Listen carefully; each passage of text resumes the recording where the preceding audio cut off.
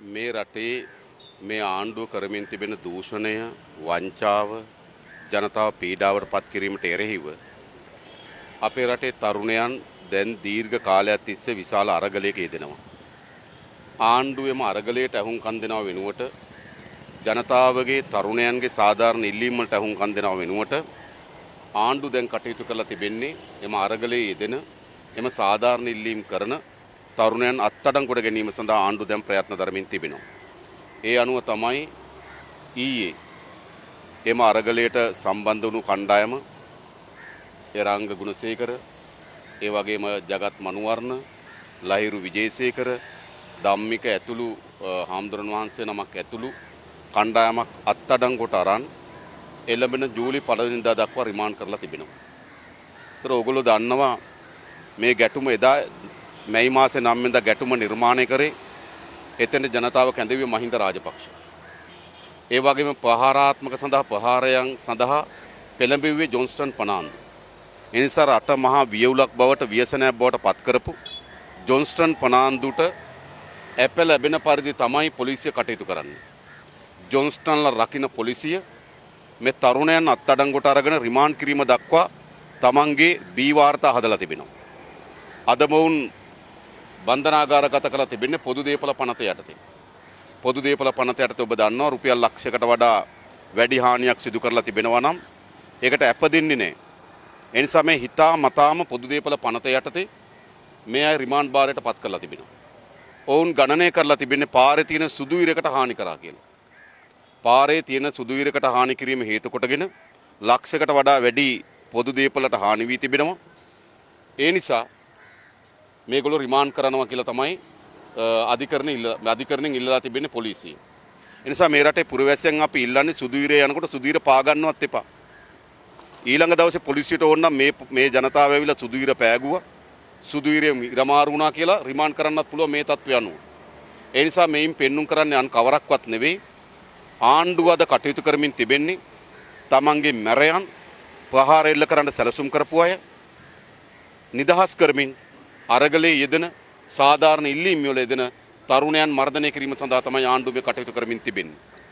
රුපියල් ලක්ෂයකට වඩා දේපොළ වලට හානි කරලා තිබෙනවා කියන එක මත මේගොල්ලෝ රිමාන්ඩ් ගත වෙනවා නම් දැනට දින 10කට රිමාන්ඩ් ගත කරලා තිබෙනවා. එහෙමනම් මහින්ද රාජපක්ෂ ඉන්න වෙනවා කල්ප 7කට. මහජනක දේපොළට හානි කරලා තිබෙන ප්‍රමාණයට. මේ රාජපක්ෂ පවුල ඉන්න ඉන්න වෙනවා කල්ප 7 8කට මහජනගේ දේපොළට කරලා තිබෙන විනාශයට. ජොන්ස්ටන්ලා ඇතුළු මේ රටේ මහජනයාගේ දේපල කෝටි ප්‍රකෝටි ගණන් වංචා වේදුණු අවභාවිත වේදුණු කණ්ඩායම් ඉන්න ඕනකම තිබෙන කල්ප 7-8කට රිමාන්ඩ් ගතව. ඒ නිසාද මේ නීතිය පොලිසිය ඉටු කරමින් තිබෙන්නේ Tamanගේ සුවච කීකරු ගෝලයන් කණ්ඩායමක් ලෙස. ආණ්ඩුව රකින සාධාරණ ඉල්ලීම් සදා යෙදෙන ජනතාව මර්ධනය කරන එක. එනිසා අපි ආණ්ඩුවට බල කරලා රනිල් වික්‍රමසිංහ මේ ඔටුන්න පළඳගත්තේ එදා ජනතාවගේ නැගිටීම හමුවේ. එය මුළුමනින්ම පාවලා දීලා කුමන්ත්‍රණකාර ලෙස මාලිගා කුමන්ත්‍රණයක් අදලා අගමැතිපුටිය වාඩි කරගත්තා. දැන් රනිල් වික්‍රමසිංහ උත්සාහ කරමින් තිබෙන්නේ ආණ්ඩු උත්සාහ කරමින් තිබෙන්නේ තරුණයන්ගේ සාධාරණ පැනනැගීම මර්ධනය කරන්න.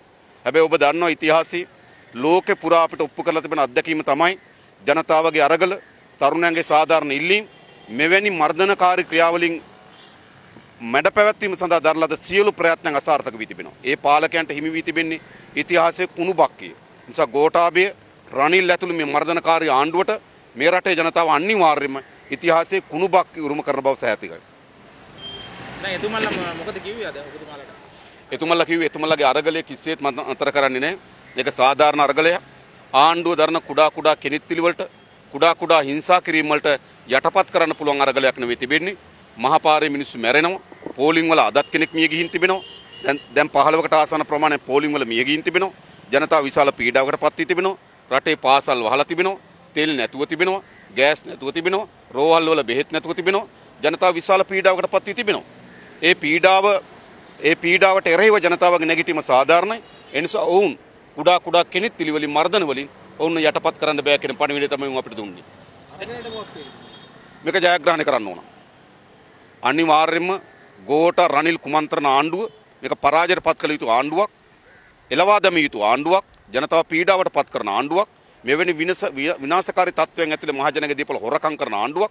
ඔගොල්ලෝ දන්නවද මේ වෙනකොට ඇමරිකන් එක්සත් ජනපදයේ බැඳුම් කර මුදල් නොගෙවීම පිළිබඳව සැකයක් මතු කරලා අද නඩුවක් පවරලා තිබෙන ඇමරිකන් බැංකුවක් විසින්.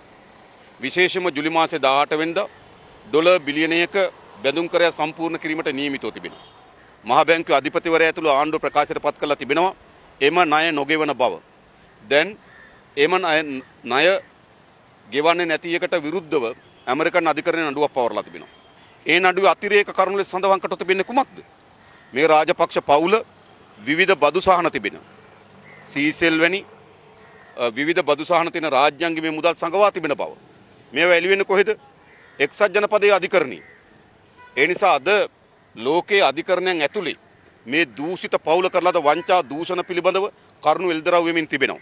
ඒ නිසා හරි පැහැදිලි මේ ආර්ථික අර්බුදය මේ මේ තරම් ජනතාව පීඩාවට පත් වී තිබෙන්නේ ජනතාව විසින් කරලාද හේතුවක් හේතු කොටගෙන නෙවෙයි මේ රාජපක්ෂ පවුලත් මේ පැවති ආණ්ඩුත් මහජනයාගේ ධනය කෝටි ප්‍රකෝටි ගණන් හොරකම් කිරීම හේතු කොටගෙන. ඒ නිසා මේ හොරකමට එරෙහි වරගලේ මහජනයාගේ දීපල වංචා කිරීමට අර- එරෙහි වරගලේ මහජනයාගේ දීපල යලි මහජනයාට පවරා දීම සඳහා කරන අරගලේ මහජනයාගේ දීපල හොරකම් කරලද පාලකයන්ට එරෙහිව සටන් කරන අරගලය කිසිසේත් නතර වෙන්නේ නැති අරගලයක්. ඒ ජයග්‍රහණය කරලා කෙලවල කරන අරගලයක්.